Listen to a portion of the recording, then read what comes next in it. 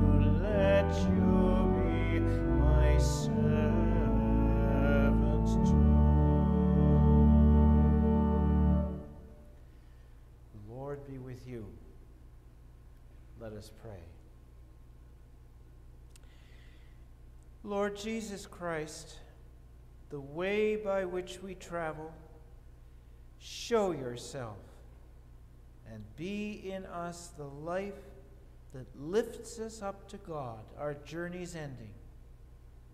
You, our brother and guide, living and reigning with the Father and the Holy Spirit, one Almighty God now and forever. Amen.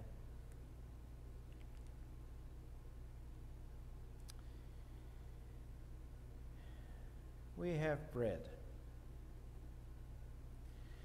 fruit of the earth, and the work of human hands. May it become to us the body of Jesus Christ our Lord.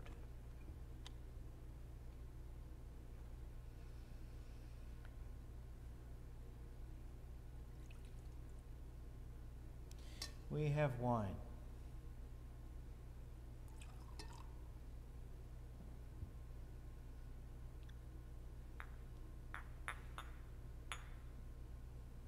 May it become to us the precious blood of our Savior, Jesus Christ. Create in us clean hearts, O God and renew a right spirit within us.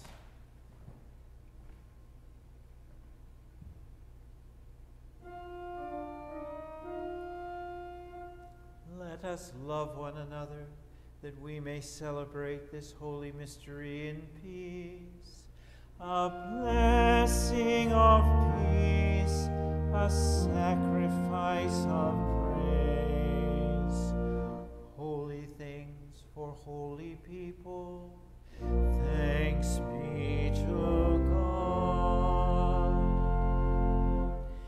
In the night in which he was betrayed, our Lord Jesus took bread,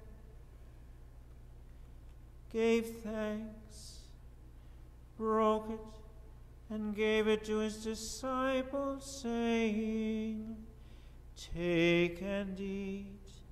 This is my body given for you. Do this for the remembrance of me.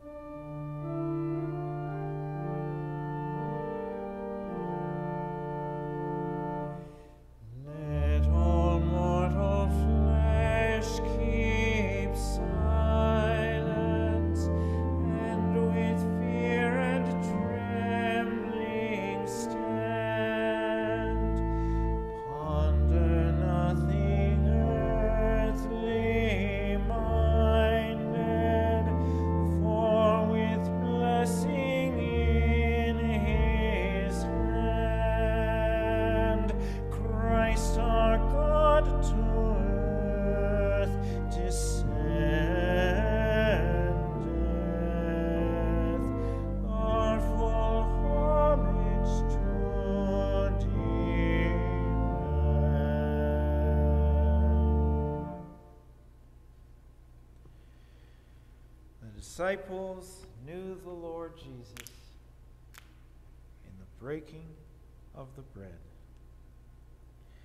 My brothers and my sisters in Christ, the body of Christ given for us. Come, Holy Spirit. Amen.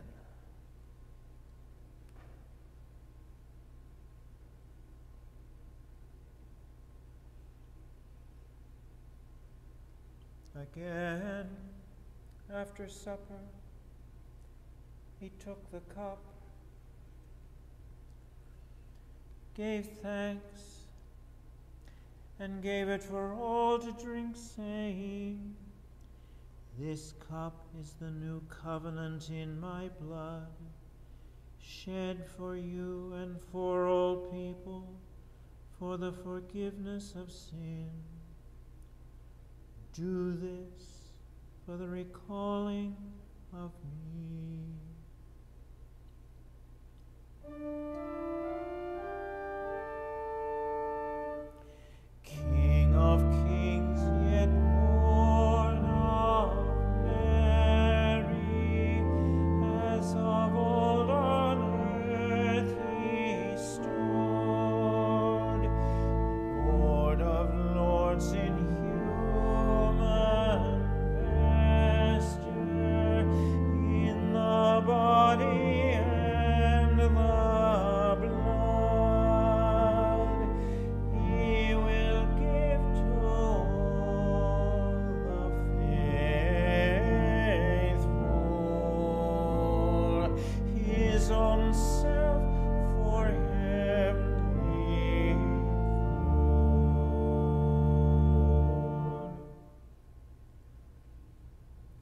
Come, Holy Spirit. The blood of Christ, the cup of salvation. Amen.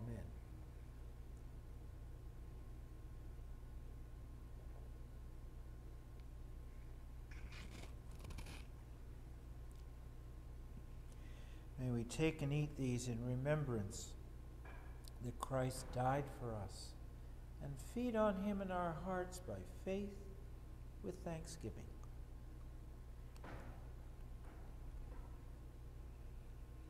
Soul of Christ, sanctify me. Body of Christ, save me. Blood of Christ, wash me. Jesus, my Savior dwell in me.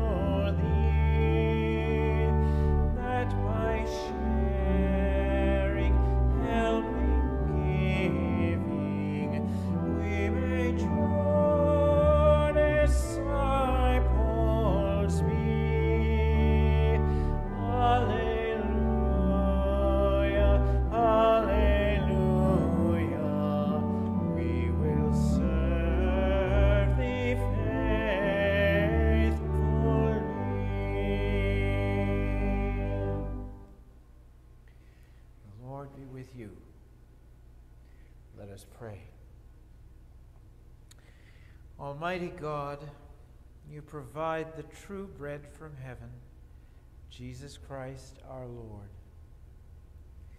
In this continuing time of isolation, we are truly sorry we can't be together in person to commune with you and with the family you've gathered at St. Mark's. Even so, we give you thanks we can receive you spiritually through the healing power of this gift of life, and through that same Jesus Christ, living and reigning with you and the Holy Spirit, one God, world without end. Amen. Now the peace of the Lord be always with you.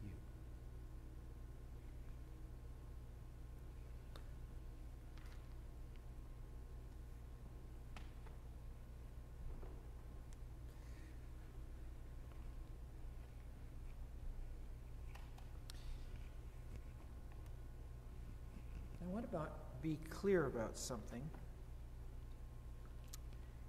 especially in the summertime, when we concentrate on our pilgrimage through this world, its purposes, its difficulties, its joys, using this year the Gospel of Mark.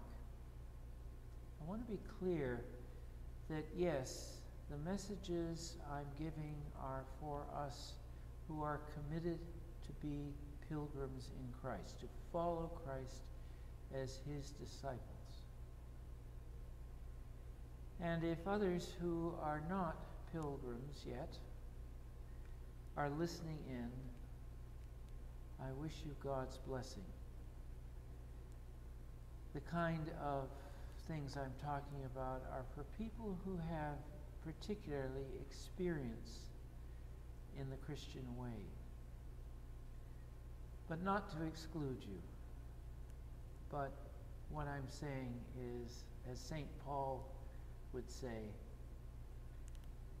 not just mother's milk now, but the real thing. Well, today we have Jesus saying to his disciples, because the crowds are enormous around him, we have to go to a, a deserted place for rest and for prayer, yes, so that we can continue our ministry with vigor. Here it is. Mark writes Jesus went about the villages teaching. And you know from last week that this had caught King Herod's attention and he was frightened. Jesus, though, called the twelve, and he began to send them out two by two, and gave them authority, as he had, over the unclean spirits.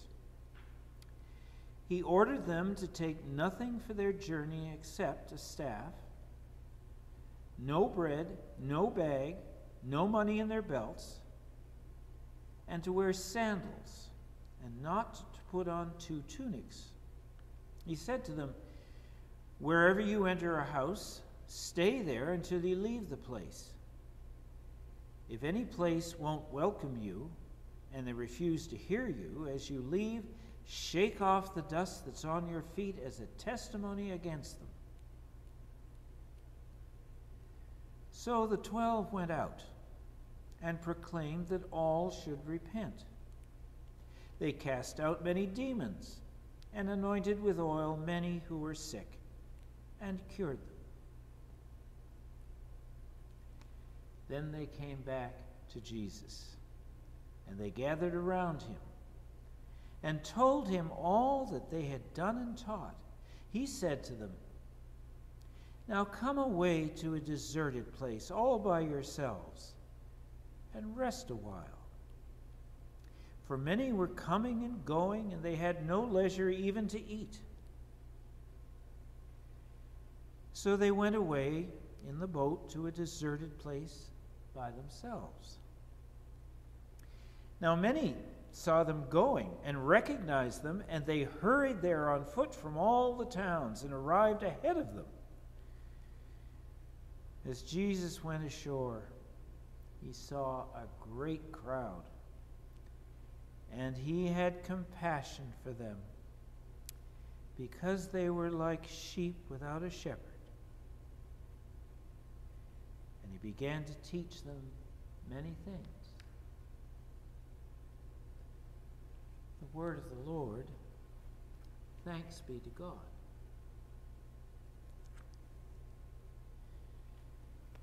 Any follower of Christ, any follower that is worth that name of disciple, works hard.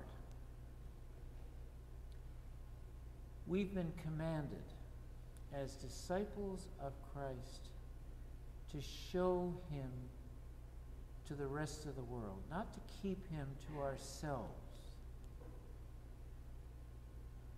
And for so many of us, particularly here in North America, that is a very tall demand.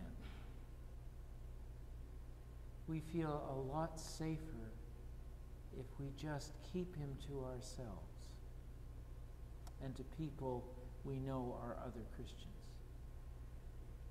So many of us simply feel scared about that command go and baptize the whole world.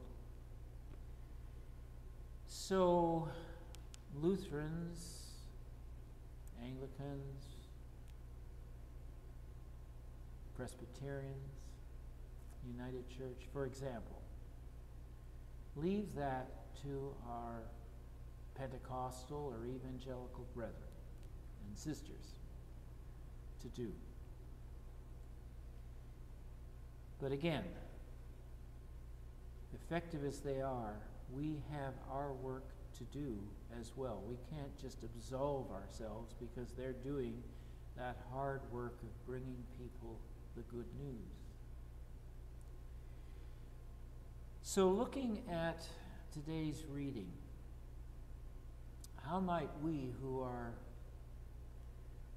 the frightened ones to bring good news to people who are indifferent, hostile, unbelieving, and want to stay that way. As I've said many times, it seems to me that how we are in the world is the best evangelism for people like us. How we are. I like the way you walk. What have we got here in this gospel passage? Well, clearly, Jesus sends his disciples out. Don't forget who these people were. They were not specially anointed. The Holy Spirit had not come down on him, on them, as the Holy Spirit did at Pentecost.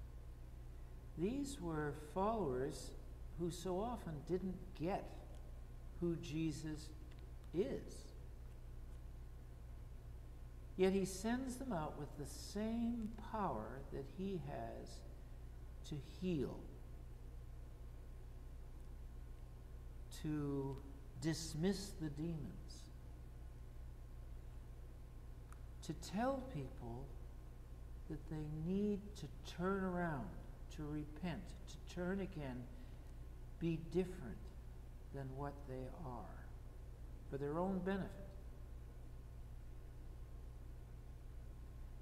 These ordinary people he empowers to do exactly that because when they come back, they're amazed at their own powers and they tell him that. What does that say to us as disciples now, today, of Jesus? What it says to me is that we have the same power those, excuse me, ignorant original disciples at this point in their lives and ministries had. We need to be open to Christ to Holy Spirit, to God the Father. We need to be open to the power and to use it rightly. And again, I say, people notice how we walk, not so much what we say, which can actually frighten them off. Certainly, people who are not yet believers, they watch how we walk. All right, he says, travel light. Don't take anything for the journey. You can have a staff because you're going to be on some rough roads. You need the support. But don't take food, don't take a bag, whatever that might mean. It could be supplies of some sort to get you through. Don't take money. Don't wear fancy shoes. Wear sandals.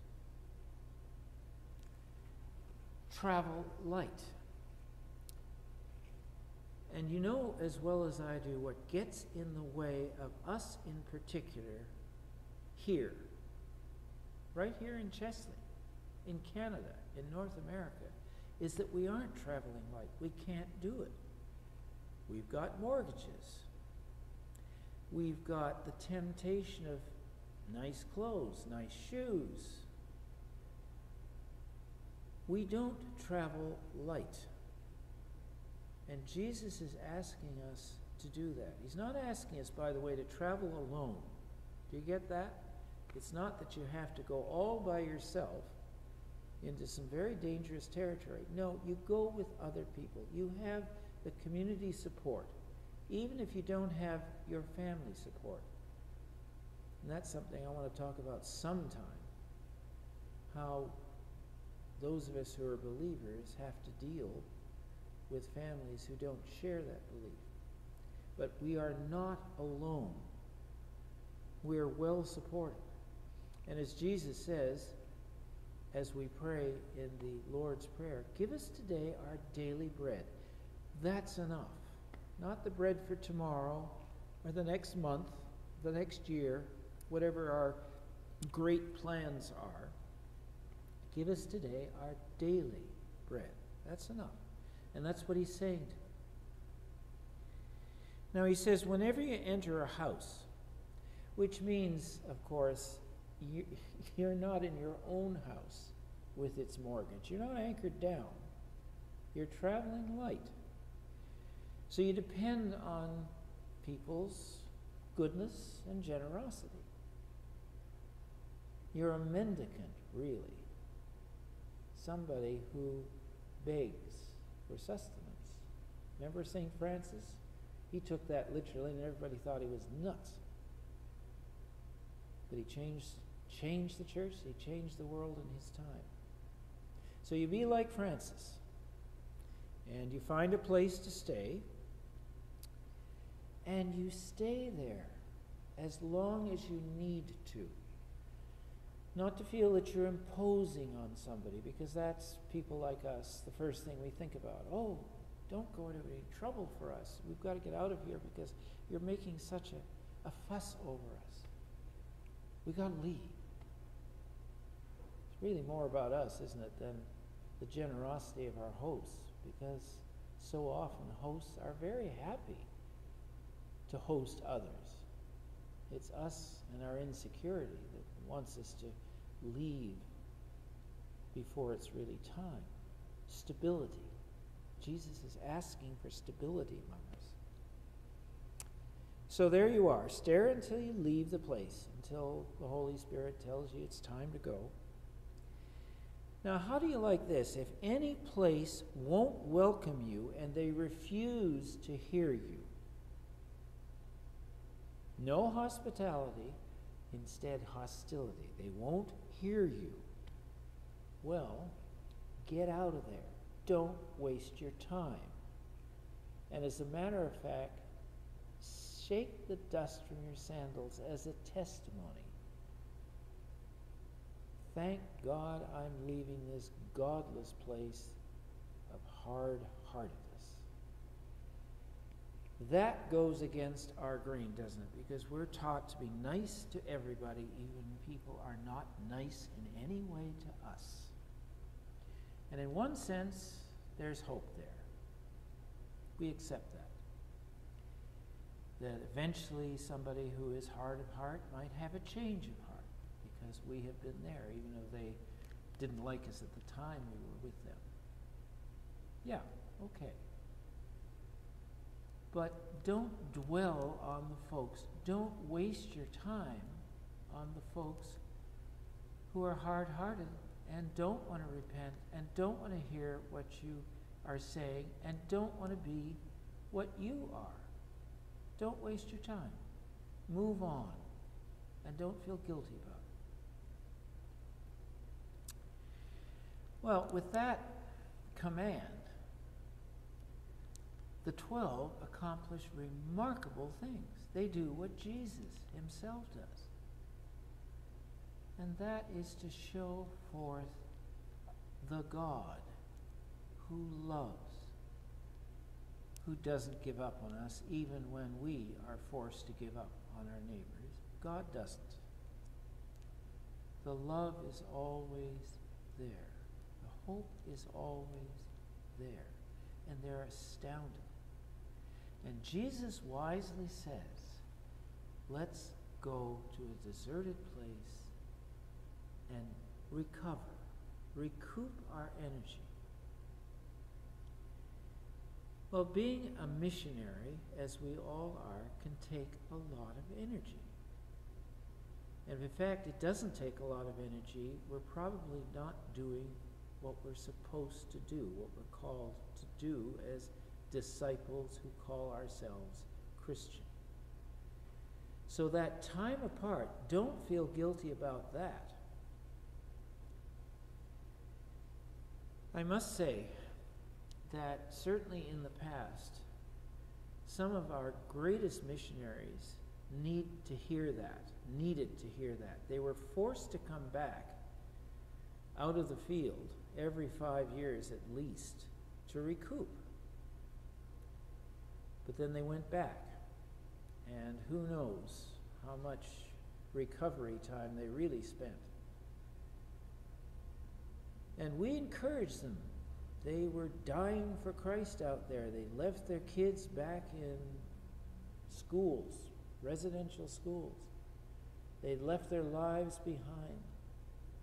They died in the field. Here's Jesus saying, It's not that way.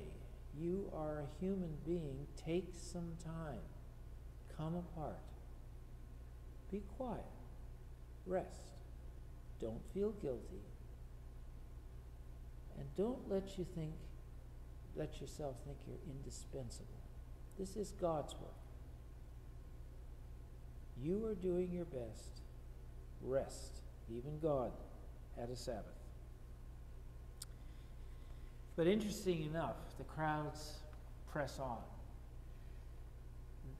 he asked the disciples to get in a boat, go to this deserted place. The crowd sees what's happening. They get to the deserted place ahead of time. And there's Jesus and his disciples. They're not going to get the rest. This does happen. His heart is moved. And what does he do? He sees them as sheep without a shepherd. He can't help it. He teaches them many things. And that is also something we're going to have to confront. We may have scheduled time for rest, but guess what? Things get in the way. We'll have to put it off for a while. And that's not a bad thing either. As long as we get to it eventually and don't let ourselves think that we're indispensable. There are just times when the Holy Spirit moves us beyond ourselves, and as it did to Jesus, want us, give us the power and the energy to teach many things, however we understand teaching. Think on these things, my brothers and my sisters, pilgrims together. In the name of the Father, and of the Son, and of the Holy Spirit. Amen.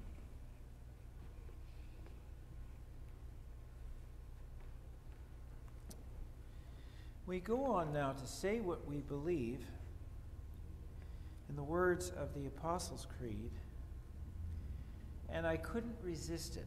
I came across a setting, a sung setting of the Apostles' Creed, not the Nicene, there are a whole number of those, but the Apostles' Creed coming out of the Dutch Reformed tradition.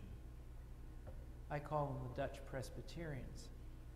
I don't know if they still do that in some places, but I was, I was moved by this, finding uh, their setting. And what I've done is adapted their setting and um, also shaped it around something called the Missa uh, de Angelis, the Mass of the Angels, that has many echoes in this setting. And I suspect the original setting came from that.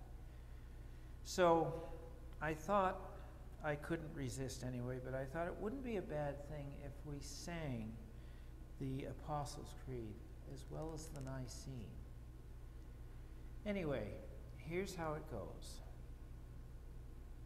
I believe in God, the Father Almighty, creator of heaven and earth. I believe in Jesus Christ, his only Son, our Lord. He was conceived by the power of the Holy Spirit and born of the Virgin Mary. He suffered under Pontius Pilate, was crucified, dead, and buried he descended into hell. On the third day he rose again. He ascended into heaven and is seated at the right hand of the Father. He will come again to judge the living and the dead. I believe in the Holy Spirit the Holy Catholic Church, the full communion of saints, the forgiveness of sins, the resurrection of the body, and the life everlasting. Amen.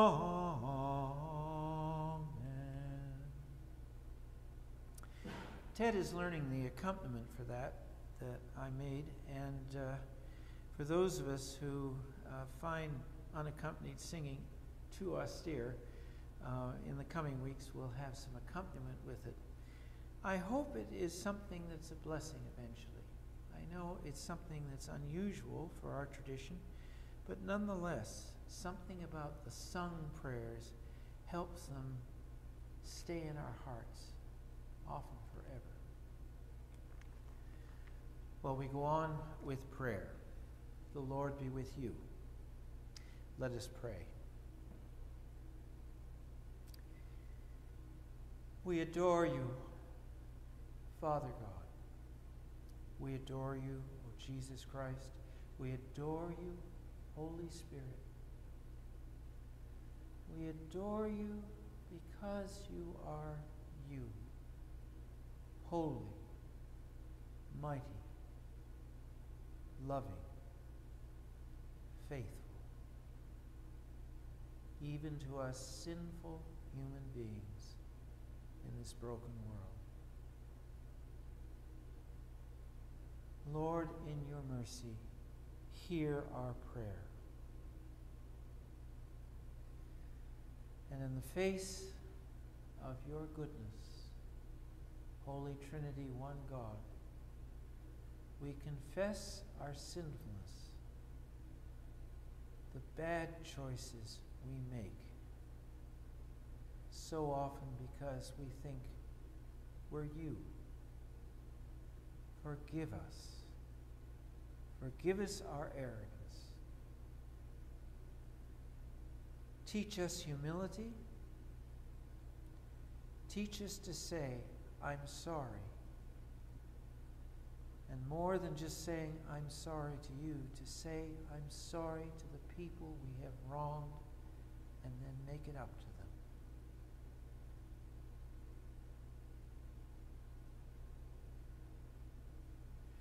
Lord, in your mercy, hear our prayer.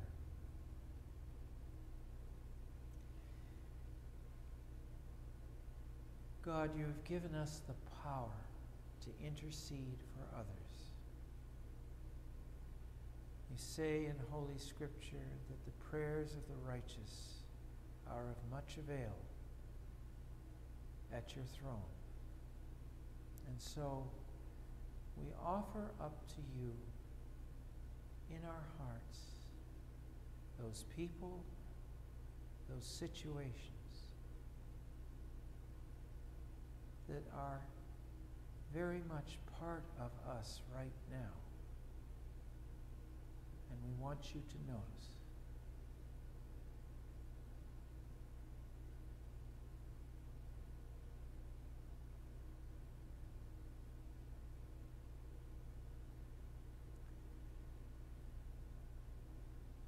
As part of our intercessions, we remember those who have died. We thank you for their life and witness.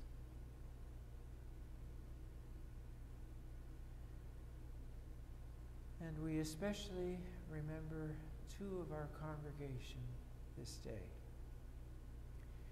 We remember Francis, who is moving to a new place now in Mildmay. And we remember our sister May, who is recovering from her surgery.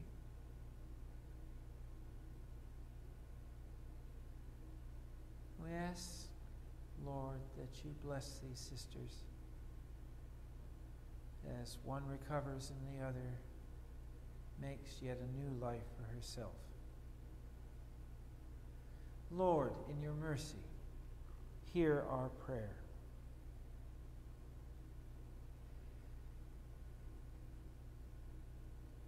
Lord, we ask so much, and so often we forget to say thank you. So here we are now saying, Thank you. Thank you for all the blessings, the big and the small, the ones that we take for granted and don't even notice. Thank you. Lord, in your mercy, hear our prayer. Now hear us as we pray in the words our Jesus always or taught us always to say. Our Father, who art in heaven, hallowed be thy name. Thy kingdom come, thy will be done on earth as it is in heaven.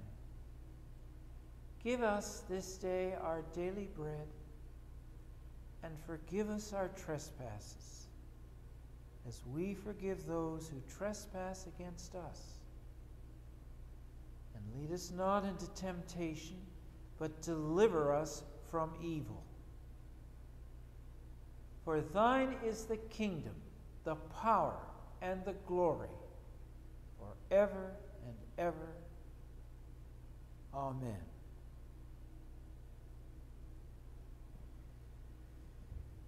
Now, as we continue our pilgrimage, may the strength of God pilot us, may the power of God preserve us, may the wisdom of God instruct us, may the hand of God protect us, may the way of God direct us, may the shield of God defend us, may the host of God guard us against the snares and temptations of the world. From glory to glory advancing, we praise thee, O Lord.